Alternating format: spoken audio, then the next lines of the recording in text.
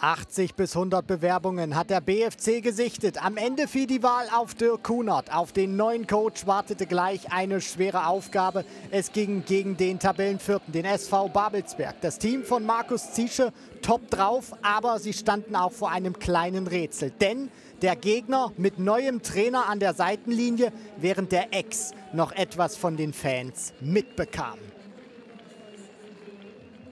Der BFC zu Beginn auch etwas nervös. Babelsberg auswärts bislang vier Punkte geholt.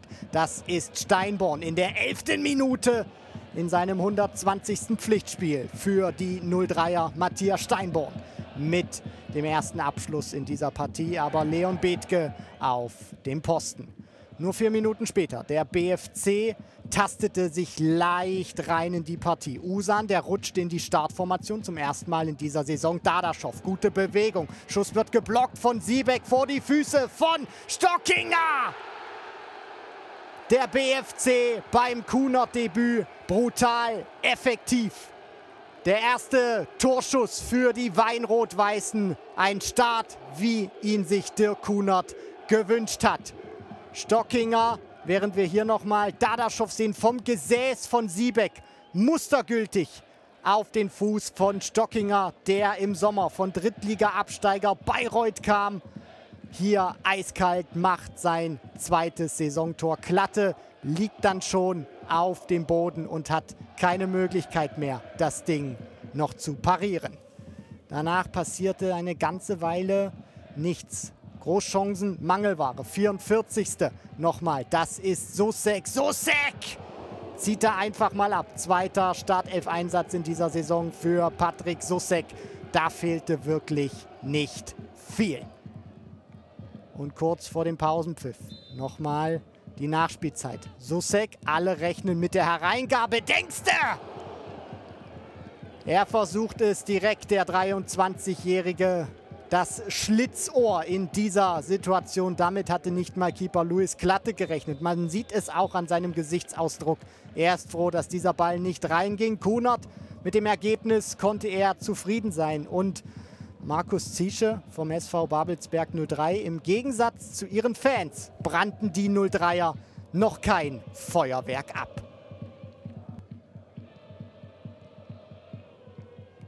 Die Partie brauchte auch in Durchgang 2 ein bisschen Anlaufzeit. 65. Werbelo, der kam in die Partie mit der Flanke auf den Kopf von Steinborn. Zwölf Jahre in der Jugend beim BFC gewesen und vor zwei Jahren Meister mit den Berlinern geworden.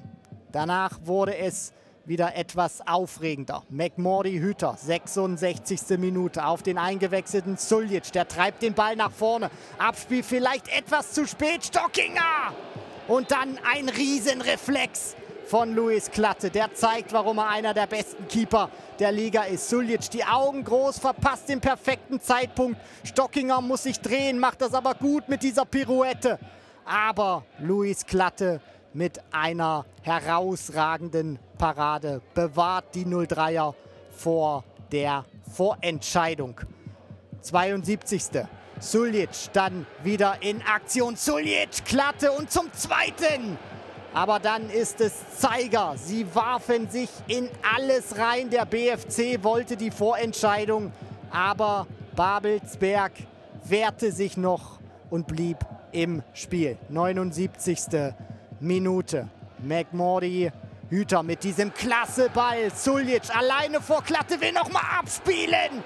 Und dann ist es eine Riesenrettungstat von Janne Sitan. Armer Suljic ist hier nicht egoistisch genug, will auf Dadaschow ablegen und er sagt dann, hey, warum machst du das nicht selber? Eder kommt da auch dazu. Da muss er den Egoisten in sich finden. Armer Suljic macht hier Janne Sitan kurz zum Helden.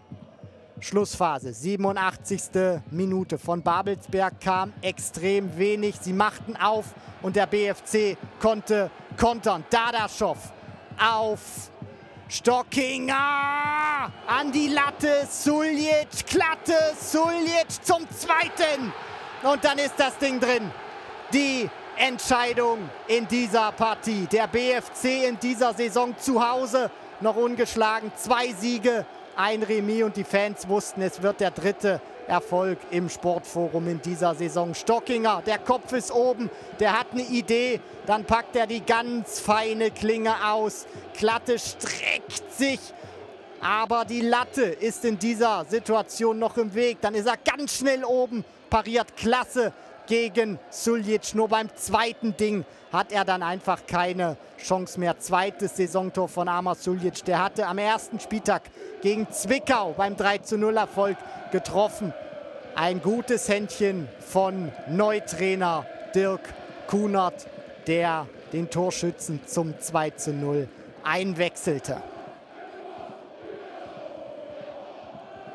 Und Gentschel wusste auch, das war's. Und was dem BFC dieser Erfolg bedeutete, das konnte man an den Emotionen von Eder und Co. sehen. Aber Schluss war noch nicht. Erste Minute der Nachspielzeit. Babelsberg hatte nicht mehr viel entgegenzusetzen. Kung-Fu-Tritt von Sitan geht ins Leere. Dadaschow findet Suljic. Doppelpack. Und jetzt machten sie es auch nochmal richtig deutlich. Amar Suljic in seiner zweiten Saison für den BFC Dynamo.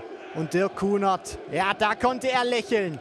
Der Einstand ist geglückt. Dadaschow mit der guten Übersicht und dann ist Klatte chancenlos bei diesem Abschluss von Amar Suljic. Und wir gucken gleich noch mal hin in der Superzeitlupe. Da sieht man noch mal, wie eiskalt Rufat Dadaschow, der Top-Torjäger der Berliner ist. Hier, Sitan, ganz weit oben das Bein. Aber Dadaschow, der zuckt nicht mal. Mensch, der hat Eis in seinen Venen. Und dann diese mustergültige Vorlage auf Amar Suljic. Und der wusste auch, bei wem er sich zu bedanken hat. Der BFC gewinnt beim Debüt von Dirk Kunert mit 3 zu 0. Und danach die Hände in den Himmel von Dirk Kunert. Er umarmte danach alle. Die Freude war ihm im Gesicht abzulesen. Er erklärte auch, wie er es innerhalb von dreieinhalb Tagen schaffte, die Mannschaft auf dieses Topspiel einzustimmen. Ich habe ihm erstmal gesagt, dass ich richtig brenne und dass ich das von den Jungs äh, genauso abfordere. Aber das brauchte ich nicht, weil ich in die Augen geguckt habe und die, auch, die Jungs auch heiß waren. Ähm, dass wir heute das Spiel einfach für uns entscheiden müssen, äh, die Fans unbedingt mitnehmen müssen. Äh, erstes Spiel nach den ganzen Turbulenzen ist es wichtig, dass wir das Spiel einfach ziehen. Äh, und natürlich habe ich gesagt, das Gute ist, dass ein Top-Gegner kommt, nicht einer von unten. Ja, und wir noch an den Jungs vorbeikommen können. Und äh, ja, die Jungs haben es top umgesetzt. Wir haben fleißig gearbeitet, es gab sehr viel, viel Spielformen im Training auch. Der Trainer wollte uns seine Philosophie geben, wie wir eigentlich in das Spiel angehen sollen. Aber wie gesagt, heute hat man wirklich gesehen, jeder hat es super angenommen, jeder hat es wirklich alles umgesetzt, was der Trainer von uns wollte. Aber ich will mal sagen, das ist aufbaufähig, wir können noch besser spielen, wir werden noch besser spielen auf jeden Fall. Wir waren heute auch in der ersten Halbzeit schon so viele Fehler gemacht und auch die Spieler haben ihre Qualitäten und sie haben sie heute nicht auf den Platz bekommen. Und das muss man einfach dann auch sagen. Es hat dann auch in allererster Linie gar nichts mit dem Gegner zu tun gehabt, sondern es hat mit der Überzeugung, mit, der, mit dem Selbstverständnis, dann auch auswärts so zu spielen und mutig zu sein und selbstbewusst zu sein. Und äh, ja, ist natürlich auch immer ein Hexenkessel hier. Vielleicht haben sich auch dadurch die einige Spieler auch irgendwie beeinflussen lassen, aber wir haben zu wenig in Normalform gehabt heute und deswegen geht die Niederlage auch leider in Ordnung. Der BFC will aufsteigen und ist auf Kurs. Und schauen Sie mal, was dieser Sieg für Tobias Stockinger bedeutete. Der drehte richtig frei und freute sich wie ein kleines Kind. Der BFC zieht am SV Babelsberg 03 in der Tabelle vorbei.